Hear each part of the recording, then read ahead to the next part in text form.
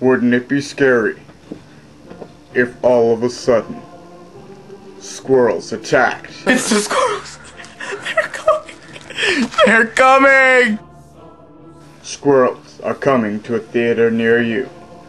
They never forgive, they never forget. Oh my gosh! It's in the house! Die, you night-eating rodents!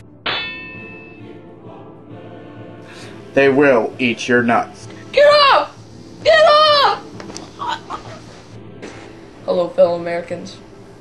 Today our country is attacked by squirrels.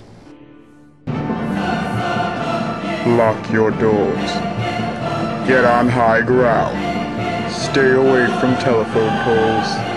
And don't leave your window open.